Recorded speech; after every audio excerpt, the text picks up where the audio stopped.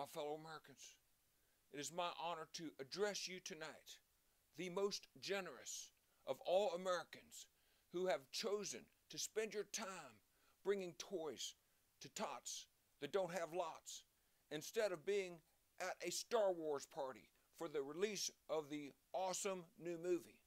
But you are here instead because you care about little ones. Wow, now you guys are the definition of a Merry Christmas.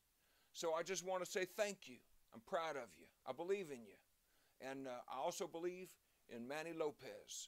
And by the way, this is John Morgan, America's number one George Bush impersonator, a proud owner of a custom online branding app that you yourself can download for free by just going to the App Store or the Google Play and searching John Morgan as George W. Bush. And don't forget to uh, enable notificators because through there you can purchase your own Bush Graham to give as a gift, a Christmas gift, an anniversary gift, a birthday gift, a retirement gift, a customized online video that you can uh, send to a loved one. Amazing. Such a fun gift. Just like the one you're watching here.